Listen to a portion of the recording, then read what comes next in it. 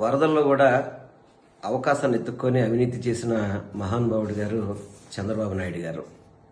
వరదల్లో ప్రజలకి సేవ చేయాల్సింది పోయి సేవ చేయకుండా వచ్చిన డబ్బులను కూడా దండుకోవడానికి అదేవిధంగా ప్రతి ఒక్క దాంట్లో కూడా దోచుకోవడానికి ఇది ఒక వరదల్లో కూడా ఒక అవకాశంగా వాడుకొని చంద్రబాబు నాయుడు గారు వరద బాధితులందరినీ కూడా ఇబ్బంది పెట్టిన పరిస్థితి చూసాం ఎందుకంటే నిన్న వాళ్ళు రిలీజ్ చేసిన చంద్రబాబు నాయుడు గారు ఏదైతే రిలీజ్ చేశారో సుమారుగా భోజనాలకి భోజనాలకి మూడు వందల అరవై ఎనిమిది కోట్లు ఖర్చు పెట్టారట భోజనాలకి. అదేవిధంగా అకామిడేషన్కి పెట్టని అకామిడేషన్కి కోటి నలభై లక్షల రూపాయలు ఖర్చు పెట్టారట. అకామిడేషన్స్ ఎక్కడ పెట్టారో తెలియదు ఎవరిని రిలీఫ్ సెంటర్లు తీసుకెళ్ళారో తెలియదు ఎక్కడ రిలీఫ్ సెంటర్లు పెట్టారో కూడా తెలియదు దానికి కోటి నలభై లక్షల రూపాయలు. అదేవిధంగా ఫుడ్ కోసం మూడు వందల అరవై ఎనిమిది కోట్లు. అది కూడా దాదాపు చూసుకుంటే కనుక దాదాపు ఆరు లక్షల మందికి పెట్టాం మేమని చెప్పుకునే విధంగా చెప్తున్నారు. ఇప్పుడు మీకు అక్షయ పాత్ర పెట్టింది వివిధ స్వచ్ఛంద సేవా సంస్థలు భోజనాలు పెట్టారు. అవన్నీ కూడా మీరు ఉచితంగా ఖర్చు పెట్టించి మూడు వందల అరవై ఎనిమిది రూపాయలు ప్రభుత్వ నిధులను ఖర్చు చేయడం అంటే దీంట్లో మరి ఎంత దోచుకున్నారన్న సంగతి చంద్రబాబు నాయుడు గారికి తెలవాల. అదేవిధంగా ఇంకా చెప్పాలనుకుంటే కనుక త్రాగునీరు కోసం వాటర్ బాటిల్స్ కోసం ఇరవై ఆరు కోట్లు ఖర్చు పెట్టారట. ఇరవై ఆరు కోట్లు వాటర్ బాటిల్స్ కోసం. బాటిల్ కూడా పద్దెనిమిది రూపాయలు ఇరవై రూపాయల ఎంఆర్పీలతో కొన్నట్టుగా ఇప్పుడు వాళ్ళ వాళ్ళ యొక్క లెక్కల్లోనే తెలుస్తున్నాయి. అదే కాకుండా అగ్గిపెట్లకి కొవ్వొత్తులకి కూడా. అగ్గిపెట్లకి కొవ్వొత్తులకి అయితే కనుక దారుణం. అది కూడా కోట్ల రూపాయలు ఖర్చు పెట్టి ఇచ్చింది ఎవరికి ఇచ్చారో తెలియదు.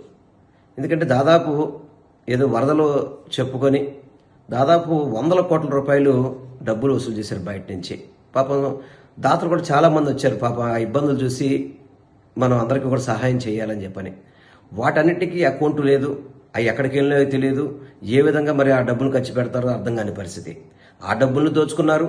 అదేవిధంగా వరద బాధితుల కష్టాన్ని దోచుకున్నారు. వాళ్ళు దాదాపు ఐదారు రోజుల రూపాయ ఐదారు రోజుల వరకు వాళ్ళకి కనీసం తినడానికి అన్నం కూడా పెట్టలేదు. త్రాగడానికి నీరు ఇవ్వలేదు. కనీసం వాళ్ళకి మౌలిక వసతులు కూడా కల్పించలేని అసమర్థతగా కనబడింది. అదేవిధంగా శానిటేషన్ కోసం అని చెప్పని సుమారు యాభై ఐదు కోట్లు భయపడి ఖర్చు పెట్టాడు శానిటేషన్కి. ఏం శానిటేషన్ చేశారు మీరు? యాభై ఐదు కోట్లు ఖర్చు అవుతుందా అసలు నిజంగా ఇవన్నీ ఎవరైనా నమ్మేదేనా? అసలు ఇవన్నీ ఎవరు చేశారు? ఏ ఏ కాంట్రాక్టులకు ఇచ్చారు? ఏ నిబంధనలతో పిలిచారు? ఏ విధంగా తెలిసారనేది మీరు అందరూ కూడా ప్రజలు తెలియచేయాలి. అలా తెలియజేయకుండా చా- చాలాసార్లు చెప్తుంటాడు.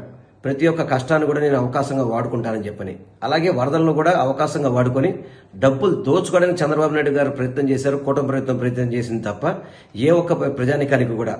ఎందుకంటే చిన్న చిన్న వ్యాపారస్తులు ఉన్నారు చిల్లర కొట్లు. సుమారు వాళ్ళకి ఓన్లీ సరుకులే లక్ష రూపాయల పైన ఉంటాయి. వాటికి ఏమీ అతిగతి లేదు. చిన్న చిన్న ఇంట్లో బట్టల కొట్లు అమ్ము- అమ్ముకునే వాళ్ళు ఉన్నారు. అదేవిధంగా చిన్న చిన్న స్వీట్ షాప్స్ ఉన్నాయి. ప్రతి ఒక్కరు ఫ్రూట్స్ అమ్ముకునే ఉన్నారు. ఎంతో మంది చిన్న వ్యాపారస్తులు ఉన్నారు. వాళ్ళకి ఒక రూపాయి సహాయం చేసింది లేదు. ప్రతి ఇంటికి లక్ష నుంచి ఐదు లక్షల రూపాయల వరకు డ్యామేజ్ జరిగింది. వాళ్ళకి సహాయం చేసిన పరిస్థితి లేదు. మీరేమో డబ్బులన్నీ ఏమో చిల్లర పెంకుల్లాగా ఖర్చు పెట్టినట్టు మీరు చూపెడతారు తప్ప ఇవేమీ కూడా ప్రజలకి చేరలేదు అనేది ఈరోజు ప్రజలు చెప్తున్న వాస్తవాలు ఇవన్నీ కూడా. దయచేసి చంద్రబాబు నాయుడు గారు కూటమి ప్రభుత్వం నేను ఒకటే చెప్తున్నాను. మీరు ఈ వరదల్లో దోచుకోవడం మానండి. ప్రజలకి మేలు చేయండి. చాలామంది జీవితాలు అటు పెద్దవాళ్ళ నుంచి చిన్నవాళ్ళ వరకు అందరూ కూడా దెబ్బతిన్నారు. పెద్దవాళ్ళు అయితే కోట్ల రూపాయలు పోయినాయి చిన్నవారికి అయితే లక్ష రూపాయలు లక్షల్లో పోయినాయి.